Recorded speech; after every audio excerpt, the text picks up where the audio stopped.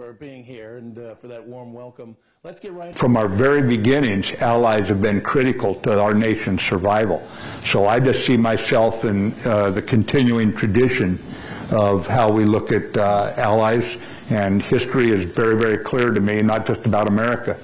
Nations with allies thrive, and nations without them die. So, you know, real simple. The Marines have put it more bluntly, I think. They say if you're going to a gunfight, bring all your friends with guns. You know? and I try to be very candid about it.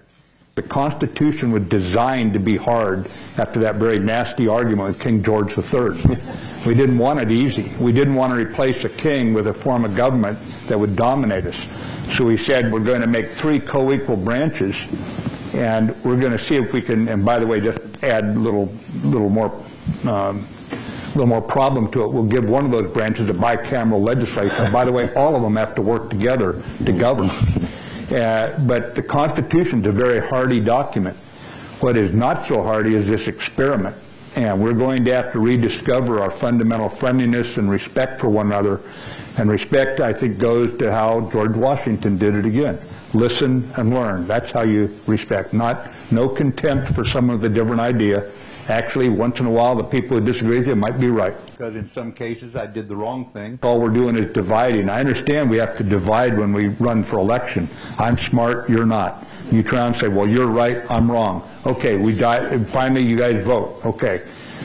I lose. Okay, at this point, everybody who voted for me, we got to roll up our sleeves and work with the guys who voted for him and because governing takes uni unity. Elections are dividing. That's okay. That's democracy. Sometimes it's not very civil. That's okay, a little raucous. But when it's over, we go back to governing. Governing is about unifying. And that's the experiment that it worries me right now. Uh, it's not to say that I'm going to say the right way to do something. Over my 40-some years career, there have been times Secretary of State and Secretary of Defense didn't even talk to each other. They just didn't get along. Mm. And I said, our country paid a price for that. And I said, I think we've militarized our foreign policy. I think you need to be in the driver's seat. I will inform you of the military factors. I'll be very blunt. I won't hold anything back. I'll tell you what I can do, what I can't do. But I said, we need you and your diplomats in the driver's seat of our foreign policy.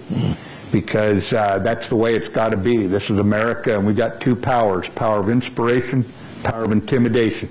And sometimes you need the power of intimidation but we really need the power of inspiration. That's where our diplomats, seeing a better world, can keep allies gathered to our side. Thank you so much very much.